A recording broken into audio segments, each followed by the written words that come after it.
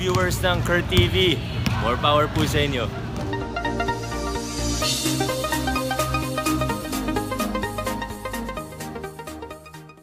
What's up mga TV Natics? Welcome back to my channel and for our today's vlog, bilang pagpupugay sa ating mga frontliners na kapulisan ay magbibigay nga tayo sa kanila ng tubig at tinapay courtesy of Crystal Blessed Water and Councilor Richie Brown. Ito ay maliit na bagay lamang bilang ganti sa pagsisilbi nila sa ating bayan na sinusuong ang virus na hindi natin nakikita. Kaya naman, para mas malaman niyo po ang buong detalye, narito panoorin niyo lahat.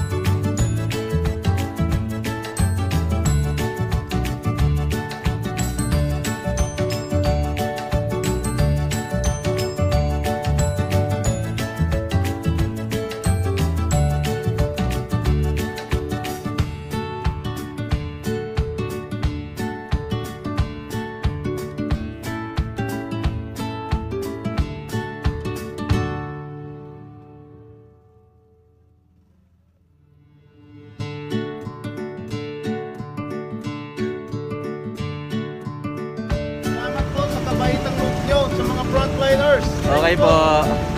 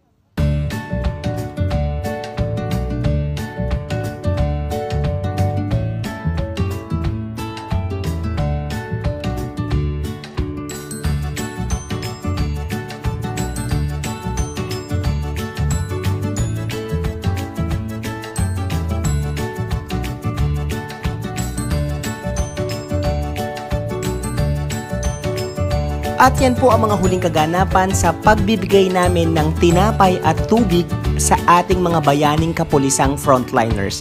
Marami pong salamat sa inyong panonood. See you all next time dito lang sa Kurt TV! Please don't forget to like and subscribe. Bye-bye!